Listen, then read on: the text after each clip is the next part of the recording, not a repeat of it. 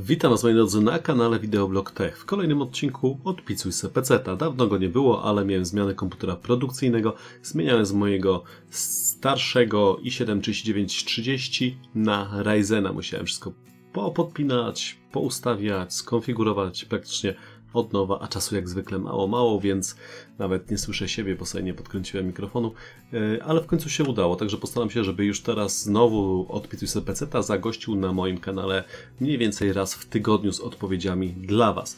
Wszystkie do tej pory odpowiedzi na maila mam ogarnięte, także jeżeli chcecie, zapraszam tutaj do zgłaszania się mm, do odpisuj sobie peceta z zapytaniami co mogę zmodernizować, co możemy, co możesz zmodernizować w swoim komputerze. Natomiast jakby ktoś chciał z umie zmodernizować komputer, to wchodzi na www.vbtpc.pl i tam jest też w zakładce komputery yy, formularz do wypełnienia, żebym ja Ci zmodernizował Twój komputer. Oczywiście w budżecie, który posiadasz. Yy, dobra, dzisiaj mamy dwóch bohaterów. Mamy dzisiaj Kubę i mamy dzisiaj Michała. Tak, w tym będzie jedna porada, yy, taka, której nie powinienem udzielić, bo informacji było za mało, ale postanowiłem pokazać to właśnie jako przykład, jak nie wypełniać zgłoszeń do odpisu SPC, a może właśnie yy, pokazać, co zabrakło raczej e, w tym zgłoszeniu do odpisu SPC. Dobrze, ale żeby nie przedłużać, proszę bardzo, pierwszy Kuba napisał taki ładny elaborat yy, i napisał tam też, że chciałby wymienić płytę główną, procesor i dokupić monitor, natomiast o monitorze jaki chce dokupić nie ma ani słowa, więc postanowiłem, że zaproponuję mu dzisiaj 17-calowy monitor za 40 zł. Żartowałem. Yy, monitor zostawimy na końcu. Na początek modernizacja w budżecie 1500 zł plus minus, bo Kuba idzie do pracy, gratki Kuba, e, pracować trzeba, bo inaczej świat byłby nudny.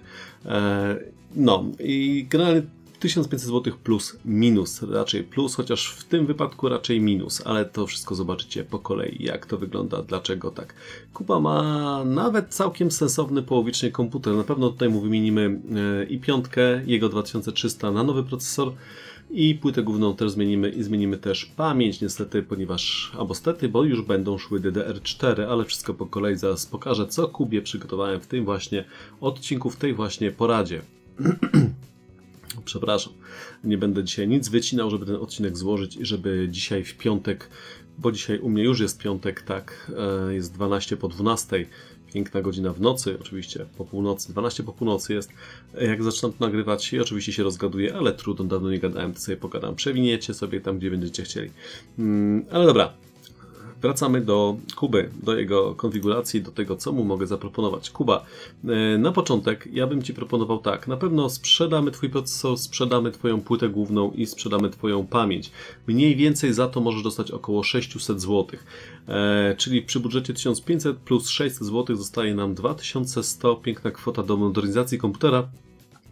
E, I tutaj teraz tak, dla Ciebie, proszę bardzo, taka porada. Zacznijmy od procesora. Ja bym tutaj proponował w tym budżecie i7 6700 Beska 6700 procesor taki dla Ciebie 939 zł. Poniżej 1000 już je można dostać. Całkiem sensowna cena. Dlaczego BSK? Bo nie wiem jaki chcesz monitor. Właśnie precyzujcie swoje zapytania. E, nie wiem, jaki chcesz dokupić. Czy ma być to 17-calowy, żeby sobie odpalić tylko podgląd temperatury procesora na przykład, czy to ma być na przykład, nie wiem, 27-calowy monitor i potrzebujesz na to, nie wiem, 1500 na sam monitor. E, precyzujcie, moi drodzy, bo ciężko wywnioskować czasami z tego, co piszecie, co poeta miał na myśli. Ten procesor 6700 obsadzimy na MSI B150M. Fajna płyta, z czterema bankami DDR4, więc już mamy podstawę pod rozbudowę kolejną w przyszłości pamięci, która spokojnie obsłuży Ci Twojego Skylake'a. Można by nawet wsadzić tutaj H110 tańszą, ona będzie tańsza z używanych o kilkadziesiąt złotych, może za 130-140 jakoś kupicie. Natomiast B 150 mają to do siebie, że mają więcej SATA i mają więcej USB na pokładzie, co się wbrew pozorom przydaje. I pamięci, które tutaj dla Ciebie wybrałem, proponuję Ci Corsair Vengeance L low, pro, low Profile, nie mogę się wygadać, 8 GB 3000 MHz, 260 zł cena kup teraz, całkiem sensowna cena, więc e, ósemka wystarczy na początek, jak zostanie Ci budżetu, będziesz mógł sobie dokupić, tak jak Ci mówiłem, dodatkowe jeszcze dwie kości 8 GB, bo płyta posiada 4 sloty pamięci. No i monitor. Nie wiem jaki monitor, bo mi nie napisałeś, drogi Jakubie, jaki monitor y, miałeś na myśli, co byś chciał. Dlatego tutaj na Allegro jest cały przegląd mniej więcej monitorów, które mógłbym Ci zaproponować. Jeżeli potrzebujesz drugi gamingowy monitor, to rozglądałbym się za jakimś, y, jakąś IAMą. Tu jest na przykład 27 y, G-Master gamingowy monitor 820 zł. One kosztują powyżej 1000 zł z tego co pamiętam.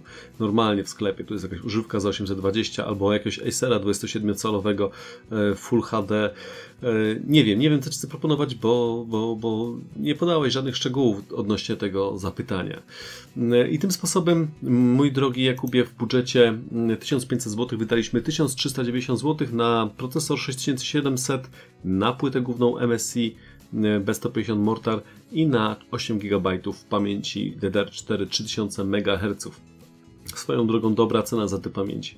Jak na chwilę obecną, gdzie te pamięci i dyski SSD nadal cały czas jeszcze drożeją. Już może nie tak jak na początku roku, ale te skoki jeszcze jest widoczny i wzrost cen też jest widoczny. E, no, a resztę tych pieniążków, które mm, e, masz, które ci zostaną po tej monetyzacji i po sprzedaży swoich części, właśnie przeznacz na zakup monitora taki, który ci będzie odpowiadał do gier. Szukaj monitorów z czasem reakcji 1 milisekunda. E, no, twoja karta graficzna zostanie, ponieważ miałeś tam RXA 470 i on spokojnie sobie powinien poradzić w Battlefield, w, Boże, Battlefroncie dwójce, jak on w końcu wyjdzie ta gra, na jesieni ma się ukazać, e, więc tutaj bym tego na razie nie zmieniał. Będzie się można zastanowić nad tą kartą, jeżeli faktycznie będziesz czuł niedosyt po uruchomieniu tej gry. e, i stwierdzisz, że jednak, jednak potrzebujesz coś mocniejszego, może już powoli też odłóż część tego budżetu, który Ci zostanie pod zakupieniem monitora właśnie na wymianę karty grafiki na jesieni. Na chwilę obecną wydaje mi się, że to będzie całkiem dobra propozycja e, i siódemeczkę już masz praktycznie nową Skylake'a, także dla Ciebie taka porada Jakubie. I teraz przejdźmy do Michała. E, Michał napisał do mnie. Chciałby zmodernizować troszkę swojego PC-ta. Do wydania ma 8 zł albo 1100 zł ale wolałby to pierwszą opcję, czyli 800 zł. E, cenię i szanuję takie osoby, ponieważ ja wydaję każdą wolą złotówkę na zakupy sprzętu komputerowego. Jak mam do wydania 1000 zł, to przeważnie wydaję 1200 albo i 300 zł, żeby coś tam kupić. E, I nigdy nie potrafiłem się powstrzymać, mając jakiś tam określony budżet, zredukować go i, i zostawić sobie, nie wiem, jakąś tam część tego budżetu na coś innego, a wydać mniej. Także szacun dla Ciebie, ale e, no cóż, ja zawsze wydawałem całe swoje oszczędności na sprzęt komputerowy. E, no. Tak, e, dobra, taka dygresja. Wracając do Ciebie, Michale. E, komputer używasz do gier, podobnie jego podzespoły FX8320E, karta graficzna 950 od Zotaka, płyta główna, dysk twardy, z góry dziękuję. I to jest właśnie, przepraszam, przykład tej porady, o której mówiłem, jak nie przesyłać do mnie zgłoszeń do odpisu SPC. Nie ma jaki jest zasilacz, a to może być ważne przy modernizacji, którą za chwilę pokażę. Yy, I zawsze jest dobrze napisać właśnie, jaki mamy zasilacz. Nie napisałeś, yy, jaką masz pamięć, ile masz tej pamięci, czy w jednej kości, czy w dwóch kościach. Nie wiem na ten temat nic. Także moi drodzy, precyzujcie bardzo Was proszę te zapytania, bo to zapytanie powinno trafić no, do kosza w mojej skrzynce, a nie do odpowiedzi, a tym bardziej do filmu. Natomiast właśnie chcąc pokazać, jak nie przesyłać zapytania, odpowiem oczywiście Michałowi bo byłbym ostatnim hamem, burakiem i wieśniakiem, jakbym teraz tego nie zrobił, tylko pokazał, o Michał, dobra, widzisz, tak, nie przesuwaj zgłoszeń, delete następny. E, także tak, nie zrobię, odpowiem Michałowi, nie będę burakiem, hamem, wieśniakiem i, i, i kimś tam jeszcze. E, także Michał, dla Ciebie taka propozycja, bardzo proszę. Na początku bym sprzedał Twój procesor, Twoją płytę główną i Twoją kartę graficzną. Weźmiesz za ten komplet około 900 zł, chociaż e, procesory FX są na Allegro, ten, który masz dokładnie też są, to jest jakaś licytacja, 224 zł, 4 dni się kończy, więc zakładam, że około 3 stówek mógłbyś wziąć mniej więcej od ręki, jakbyś chciał go sprzedać tak w miarę szybko. Kolejny jest 400 zł, ale z tego co pamiętam ta aukcja już wisi i wisi i wisi i reszta też już wisi i pewnie jeszcze będzie wisiała do usranej śmierci, bo praktycznie wiem po sobie, że nikt już nie chce procesorów FX serii 8 kupować. Jak jeszcze FX 6000 sprzedają się całkiem dobrze, bo to jest dobry procesor nadal do gier, natomiast inwestować w ósemkę, jakby ktoś chciał składać teraz platformę, to odradzam. E, chyba, że z używanych części i w dobrych pieniądzach. Tak jak mówię, za 300 zł powinieneś ten procesor swój sprzedać. Płyta główna mm, około 200 zł e, i karta graficzna około 400 zł mniej więcej. Po tyle chodzą 950 od ręki sprzedaż myślę za 400, najtańsza jest 490, ale też długo już wisi. Ich nie ma dużo, tych 2 gigabajtowych. Już się też wysprzedały, wypsztrykały z rynku, e, więc taki twój komplecik. CPU, e, płyta i grafika bez pamięci, o tym za chwilę, za 9 stówek myślę, że możesz sprzedać, więc budżet twój rośnie do 1700 zł, zakładając, że bierzemy ten twój początkowy 800 zł e, jako bazę. I teraz tak, pierwsze co bym dla Ciebie mm, tutaj radził, to na pewno procesor. Zmieniamy platformę, mój drogi, bo y, mocniejszego, dużo mocniejszego FX-a do tego nie założysz, a w grach e, ten FX8320E z końcówką E jest słabszy na przykład od i5 3570, która kosztuje e, już za 400 zł kupisz taką, taki procesor bez K na końcu, więc tutaj bym sugerował już i siódemkę bez K też, żeby się nie szarpać, ale za niecałe 600 zł mamy już i siódemkę, która będzie dużo, dużo szybsza od Twojego FX 8320. Do tego płyta główna też jakiegoś szału nie potrzebujemy, wystarczy taka na chipsecie H61 185 zł więc pieniądze całkiem przyzwoite i więcej nic tutaj nie potrzeba. Nie, nie napisałeś właśnie ile masz RAMu, czy w dwóch kościach, czy w jednej kości, czy w czterech kościach, więc e, tutaj nie miałem jak poszukać odpowiedniej dla Ciebie płyty, więc wybrałem cenowo odpowiednią, e, nie patrząc na ilość pamięci na przykład. No, przykro mi Michał, ale wróżką nie jestem, nie wiem ile masz i jakiej tej pamięci.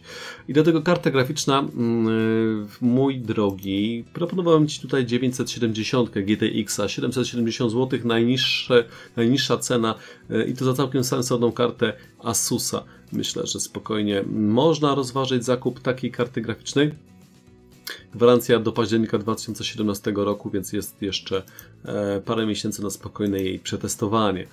E, poza tym tutaj mamy jeszcze za 850, 800. Ostatnio się też skurczył wybór tych 970. Nie ma ich już dużo, wysprzedały się. Ci co mają to trzymają, ci co chcieli sprzedać to sprzedali i zostały takie niedobitki, których ceny są wyższe niż były, nie wiem, 3 tygodnie temu. Wtedy za 970 mm, można już było, już można było znaleźć taką 970 w granicach 7 stówek, a nie 770 czy też już powyżej 800 zł. Yy, no, tak. Więc mamy tak dla Ciebie, reasumując, sprzedajesz GTX 950, sprzedajesz swój procesor razem z płytą, kupujesz i7 czy i770, do tego płytę główną, na przykład takiego gigabajta, są też jakieś jeszcze Asusy w tej cenie używane, e, także jest w czym wybierać na Allegro. A propos socketu 1155, no i karta GTX 970. Mógłbyś kupić jakieś sensowne chłodzenie jeszcze do tego 3770, żeby on się e, nie męczył. Na tym, co swoją drogą masz jeszcze 14 dni e, gwarancji rozruchowej, więc spokojnie. Żeby on się nie męczył, żeby się nie grzał. One same z siebie bardzo nie grzeją. To nie są z literką K. On nie będzie podkręcany, ale generalnie dla utrzymania kultury pracy Twojego komputera i niższych temperatur, szczególnie latem. Na przykład Fera trójka za 80 zł używka na Allegro, y, bądź też jak zostanie Ci budżet 140 zł za Fortisa trójkę. Myślę, że spokojnie możesz mm, takie chłodzenie kupić. Y, I płytę główną kupujesz razem z kartą i masz pełny, wypasiony zestaw do gier, w których, na którym pograsz praktycznie we wszystko. Starczy ci on spokojnie na jakieś 2, 3, no 2 lata, 2 lata, no 2-3 lata, zależy w jakich ustawieniach grasz i tak dalej. 2-3 lata spokojnie, będziesz miał święty spokój z tym komputerkiem, e, z modylizacją. Możesz sobie dokupić za jakiś czas dysk SSD, żeby ten system chodził szybciej, uruchamiał się szybciej i też gry, jak na nim zainstalujesz, będą też działać szybciej. Ode mnie to tyle, moi drodzy, jak zwykle się rozgadałem, chociaż tylko dwóch bohaterów dzisiaj było, no ale trudno. Wyciągniecie sobie same sedno i esencję z tego odcinka. E, pamiętajcie zgłoszenia tutaj do CPC-ta, tam na górze vbtpc.pl e, zapytania, jeżeli ktoś chce u mnie zmodernizować swój komputer fizycznie, to znaczy, żebym ja mu dobrał coś, bądź też zbudować komputer z używanych części. Robię takie cuda i też udzielam gwarancji na takie komputery, także zapraszam serdecznie do skorzystania z mojej oferty. To taka autoreklama, ale musiała być na koniec. Dzięki za oglądanie. Film się podobał. Dajcie kciuki w górę jak zwykle. Nie zapomnijcie o subskrypcji mojego kanału jak zwykle. Do zobaczenia w kolejnych filmach. Pozdrawiam Was. Wideoblog. Tech. Tech, tech, tech.